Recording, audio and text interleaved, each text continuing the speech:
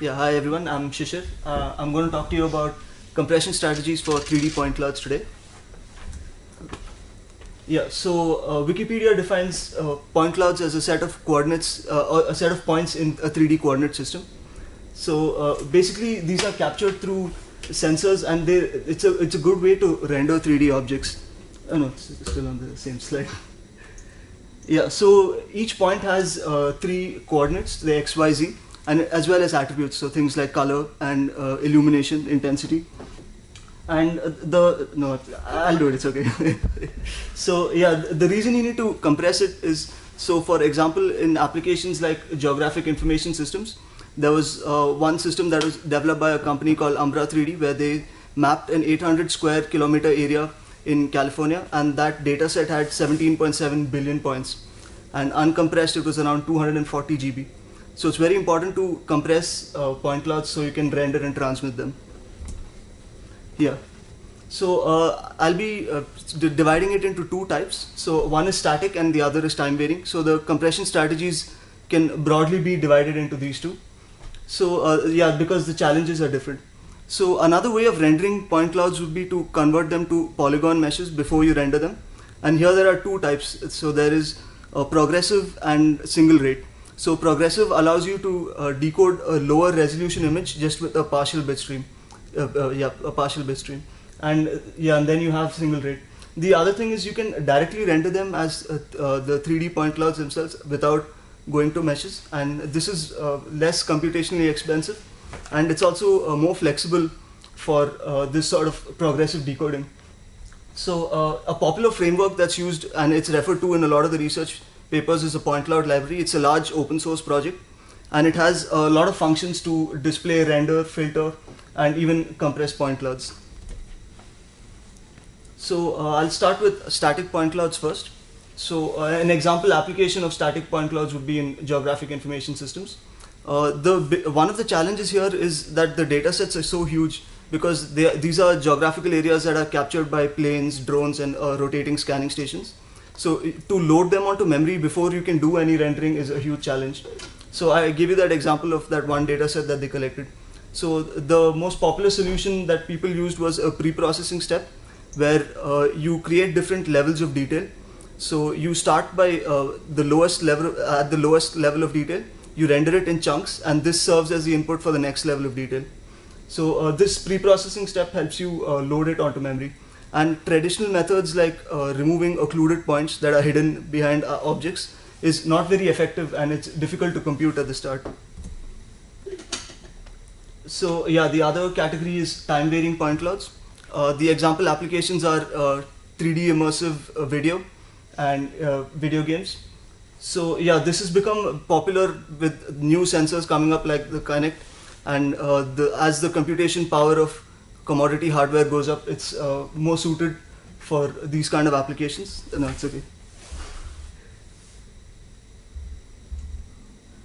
Yeah, so they basically enable free viewpoint rendering.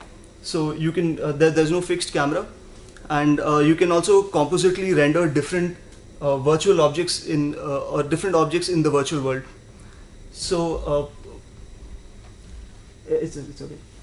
Yeah. So the the thing about uh, static point clouds was the compression is basically geometric and spatial. So they, these are compressed one frame at a time but when you talk about time varying, you even have the temporal aspect. So you can exploit the temporal redundancies based on the correlation between uh, subsequent frames. So uh, that's uh, one extra uh, way that you can compress time varying point clouds. So yeah, popular data structure that they use is the octree. Basically how this works is you take a bounding box around your frame and you keep dividing it into eight parts. So this is like a 3D version of the 2D quad tree. And uh, basically you keep dividing it as long as you don't have any empty uh, cells or a cell which does not have a voxel in it. So uh, you could also visualize it as a tree as it's shown here.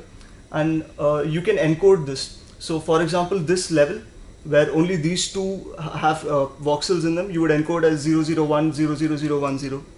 So this is uh, the occupancy coding and the decoder can create the whole tree just with the occupancy codes And this data structure is preferred because it's very conducive to creating different levels of detail. So at each level of the tree could be uh, one level of detail. Yeah, so uh, I'll talk about how uh, the, uh, the compression is done. So the first step would be uh, removing outliers and creating a bounding box. So one solution which they showed for removing outliers is uh, a, spherical radius. So if there's any point that does not have more than k neighbors within a radius r around it, you just remove those as outliers. So uh, and the other thing is you need to encode the attributes efficiently. So the one solution that they used for the occupancy codes was they did a bit reordering to reduce the entropy within these codes. So that way it was uh, more efficient to encode them and it took less space and for colors they just encoded the difference between two macro blocks in the same tree. Uh, yeah, so this is how you do the the, the static part. So the, this is called the intra frame, where you uh, encode one frame at a time. The other part, because it's time varying, is uh, where you predict subsequent frames. So yeah, this, this is called the interframe coding. So uh, how this is done is uh, one technique which they showed was called uh, uh, where they used an XOR operation on the occupancy codes. So just the geometric part you can predict, but not the attributes like color. So they just did an XOR operation on the bit stream, on the occupancy code bit stream. And this doesn't work well when there's a lot of motion in the frame. And it's just for the geometric part of the information.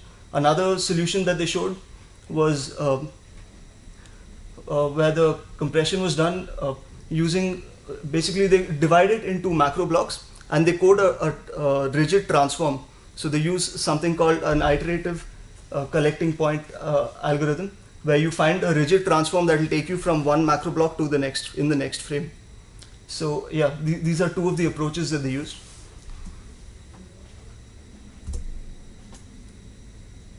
Uh, yeah, so this is what I was talking about, the bit reordering.